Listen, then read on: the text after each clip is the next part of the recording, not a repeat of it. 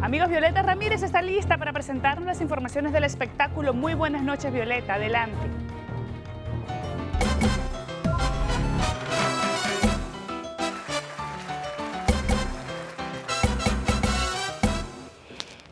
Gracias y muy buenas noches. Vamos a iniciar nuestro segmento de espectáculos con nuestra compatriota Nati Natasha, que se convirtió en la primera dominicana que ha llegado a estar en la portada de Spotify Viva Latino. Con hits como Criminal, Sin Pijama y Dura Remix, no se puede negar que el artista está teniendo su mejor año. Y bueno, como decíamos anteriormente, se convirtió en la primera mujer dominicana en estar en la portada de esta plataforma de Spotify y también hizo historia en la plataforma digital con Quién Sabe, como la cara actual de la lista de reproducción popular Conocemos un poco más de Nati en un documental corto llamado The Sound of Silence, donde a través de la aplicación los fanáticos pueden ver a Nati en su país y descubrir un lado más personal de ella que es vulnerable y sentimental. El documental la muestra pasando tiempo con su familia y disfrutando de su tiempo libre. Seguimos con los puertorriqueños Jerry Rivera y Yandel que se han unido en un tema y es que han fusionado sus voces en este tema que promete dar mucho de qué hablar. Mira es el nombre de la canción, resultado de esta colaboración y formará parte del próximo álbum de Jerry Rivera, su primer trabajo discográfico después de seis años fuera de los estudios. Ya no puedes disimular,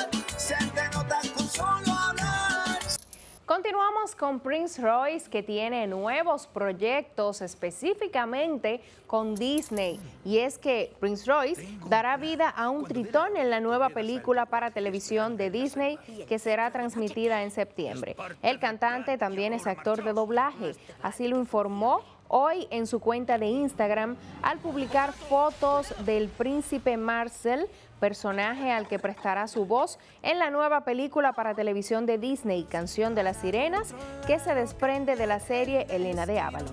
Soy aquel, el mismo de ayer, el que escribía sus canciones en el tren. Bueno, muy bien por Prince Royce y con esto nos despedimos deseándoles feliz resto de la noche. Igual para ti, Violeta, allí revisamos nuestra pregunta del día. ¿Cree usted que la decisión de un grupo de la Marcha Verde de inscribirse como partido ante la Junta Central Electoral le resta credibilidad a ese movimiento? Veamos qué respondieron en Facebook. Dice Josefina Rosado, claro que no. Franklin Santana dice, para mí no importa que aspire quien quiera. María Durán dice que no. Veamos qué respondieron a través de Instagram. Dice López Florentino Luis Manuel sí le resta credibilidad a ese movimiento porque allí se están declarando como que quieren gobernar porque ahora se sienten que son muchos. Corona Doralza dice no, Amadores 12 dice eso lo saben hasta los chinos de Bonao.